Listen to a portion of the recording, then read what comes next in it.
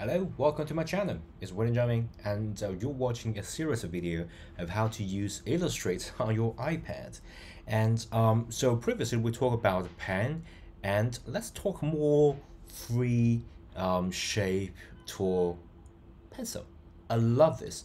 I think this is one of the like my favorite tool in Illustrator, whether it's on iPad or on the computer. Okay, so let's uh, get to it. So for example, we got this uh, William Jiamin WJM, um, but uh, I don't want this. I want something more interesting. So for example, I want choose, I want to make something like more organic. Okay, so for example, I want a cat. Okay, I can't possibly like a click. Of course, I can do that. Um, if I want to, you know, build a cat from basic shape, like a design a cat logo, something like that. But uh, most of the time, I want like because I'm more like an artist rather than a designer. Um, so I want more free, like freedom when I create things. So for example, I usually say I want a cat. I will just draw a cat like this. Okay, draw a cat. Say there will be a tail, something like that. Okay, and then boom, boom, boom. Maybe something like this, and something like this, and like the air okay so it's more like something like this. So I want more freedom so I will just um, draw cat this way and then change the property and change the fill to a color that I want. So for example it's a, it's a cute black cat I can do that. And then after you have done this you can add something more okay? So let me just get rid of this um, so for example, I'm going to make it more at the center of the screen. Um, maybe make it a little bit fatter, so cuter. And then this I want to change. So I want like individual select, okay? So if you look at here, this is just way too much. So I will just, sorry, I will just select and make the whole point a little bit inside so it's a little bit hard for me to click and drag okay? And here let's click and drag okay?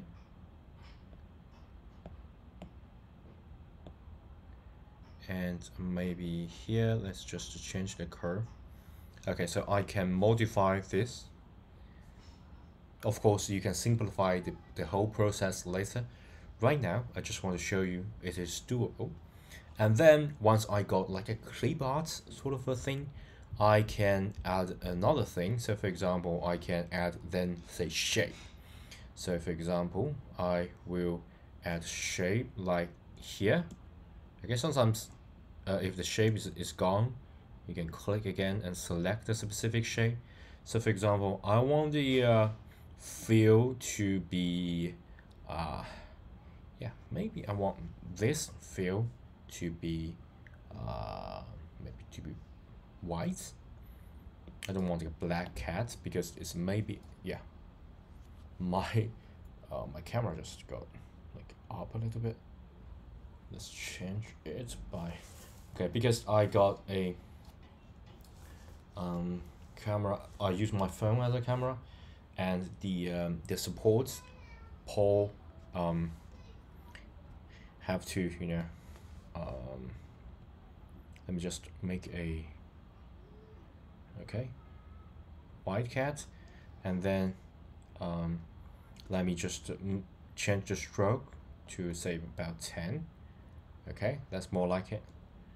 And then um, I want to add a say I so the shape change. The shape and I want to shape the field to be black okay? And then I will draw say eye here one and two okay? In order for it to be like a cute I'll have to choose this one and maybe change the shape a tiny little bit. So it's more like this so yeah. And my camera just got up again. Sorry about that. Okay, I have to adjust it. Just become a little bit annoying I'm going to use more book to fix this. Okay so this should do. Okay and uh, let me make it even more. And I can rotate it by the way. Rotate it? Yeah so a nice cat. And um whisk also need to add so I can add say line okay? The shape line. Yeah I don't think we need to worry about the line as well as the razor because yeah I will use this when I make this video okay? Then maybe one or two okay? I'm going to just add two. Maybe three okay? Maybe three and then I can choose that and make it more say curve something like that. Okay.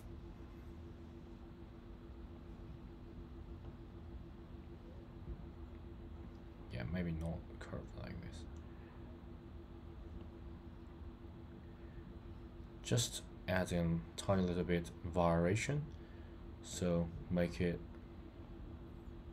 a little bit interesting curve and then I can make it like curve down a little bit.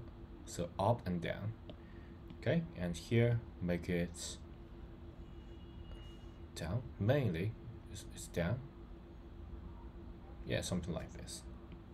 And then I also can add a little bit of Bayesian I think the default is pretty good. So yeah default is pretty good. Let me just use default. Okay so the whisk is already pretty good and then I can just use another shape to got this maybe a triangle. Okay just add a tiny little bit. Okay. And then I can rotate a little bit. Okay.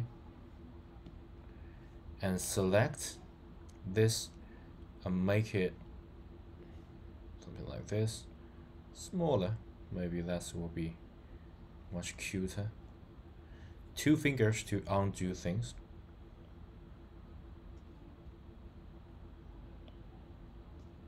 Sorry. Um, maybe just make it here. Okay. And so for example you want this to have a like more rounded. You can click here and add some bezel at um, left and right side. Okay.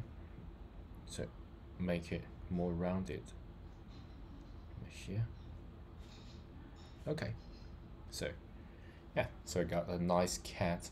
And then you can add a tiny little bit detail. Say um, let me use pen for this one. Okay so dot dot dot dot dot dot dot. Yeah something like that. And then it will automatically close the shape so if you want a little bit curve you can use the like individual select. Um, yeah I think I need to like manually close this. Let me undo this. Let me undo this. Um maybe use pencil. I want it to be like more rounded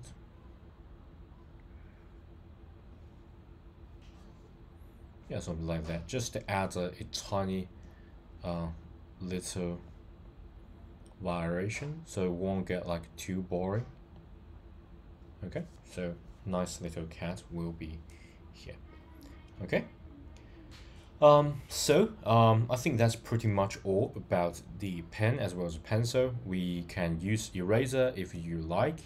Okay, of course you, you, don't want this, you can always like erase this, mm. okay?